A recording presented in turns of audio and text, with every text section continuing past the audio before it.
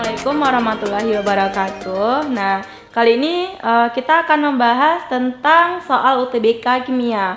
Soal yang akan kita bahas ini adalah materi tentang sel volta. Nah, jadi soalnya diketahui uh, ada dua buah reaksi di sini, ada Ni2+ tambah 2 elektron menjadi Ni dengan N0-nya diketahui min 0,25 volt, kemudian Pb2+ ditambah 2 elektron menjadi Pb E0-nya adalah min 0,13 volt. Nah, kemudian potensial standar sel volta yang terdiri dari elektroda Ni dan Pb adalah jadi yang ditanya di sini adalah E0 sel. Nah, untuk langkah pertama kita tentukan dulu yang mana mengalami reduksi, yang mana oksidasi. Nah, ingat E0 reduksi itu selalu lebih besar daripada E0 oksidasi. Nah, karena di sini dia berhubung kedua reaksinya adalah reaksi reduksi, kita lihat E0-nya. Jadi E0 reduksi lebih besar daripada E0 oksidasi. Nah, kita bandingkan dua E0 dari dua reaksi ini.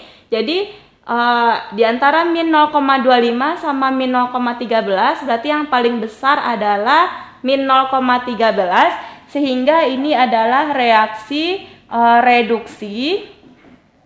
Nah, kemudian reaksi pertama berarti adalah reaksi oksidasi.